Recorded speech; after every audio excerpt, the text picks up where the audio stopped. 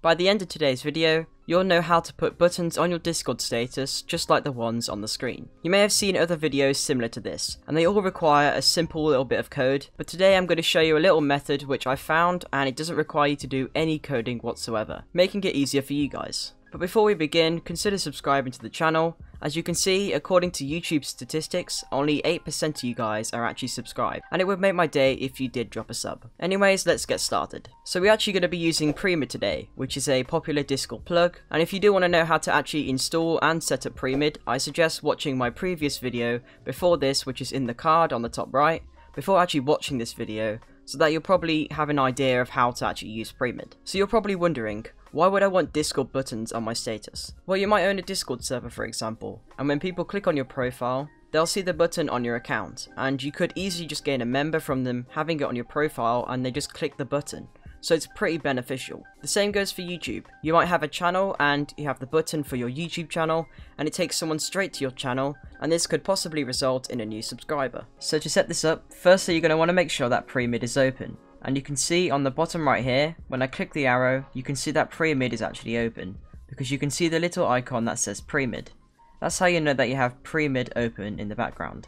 So you need to make sure that that's open in the first place. Otherwise it won't actually appear on your account. So now you're going to want to open up Premid's website. So here you go, you can see I'm on the website right now. If I click the features section right here, and then you want to go down to visit store and it should take you to this massive list of presences. Now if you can't see the custom status one as you can see on my screen, if you actually don't happen to see that, I have a way of actually finding it. So you can see at the top right here, there's a Premid like extension thing, a little bit of a Premid logo. So tap that, you'll see it actually opens you up to like all the presences you have on your account. And you should see if you have custom status already on there, it should appear like these ones.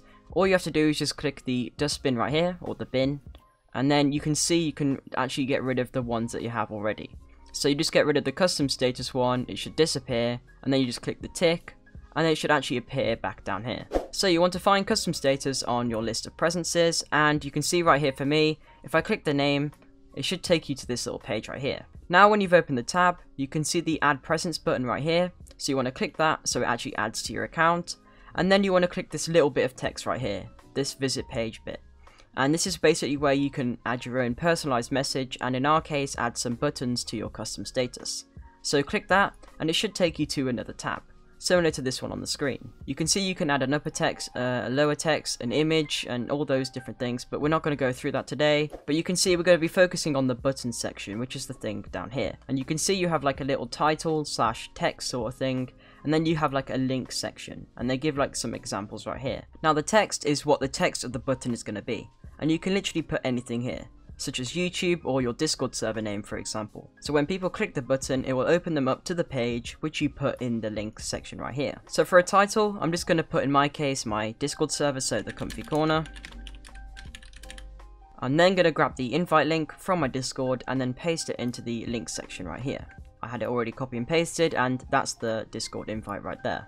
Now you can add up to two buttons on your profile, as you can see there's two different sections, so you can either just have one button or you can have two. So as you can see I've now added a second button, and all you need to do is now make sure that this tab is actually left open. So you can close all the ones you have and just leave this open, and all you're going to need to do is just minimize your tab. And you'll see now if I click my Discord profile, when I'm on Discord, you can see the two buttons are actually on my status. Discord for some reason doesn't allow you to click your own buttons on your own profile, which is a bit bizarre I know, but it does actually work. You can test it with your friends, and it does actually open it for them. So yeah, that's the end of today's video.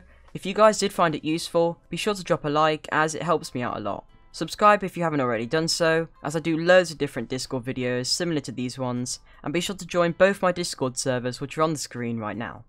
Comment down below if you have any problems and I'll be sure to help you. Thanks so much for watching and I'll see you guys in the next one. Goodbye!